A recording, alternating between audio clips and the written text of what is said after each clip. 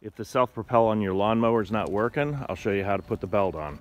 When you engage the self-propel, it engages a belt which drives off the motor. Anytime you work on a mower, you want to disconnect the spark plug. There's a proper way to tilt your lawnmower. First, find the carburetor.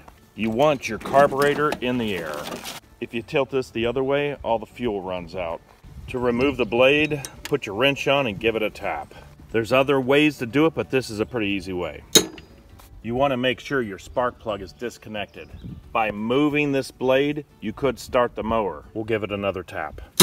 Take the bolt off, remove the bolt, remove the blade. You can see that the belt is off. It needs to go into that pulley back there. There's a piece of metal that keeps the belt in place, so we're gonna need to pull this entire assembly forward. Now we can easily put the belt back on. Now push everything back in. You may have to give it a little wiggle. We'll pull the belt in and push the entire assembly in place. The belt will push between these keepers. The other side of the belt will be on this self-propel mechanism. When you pull the handle, this engages the belt. Install the blade, put the bolt back in, spin the bolt until the blade spins. Tighten it up with a hammer.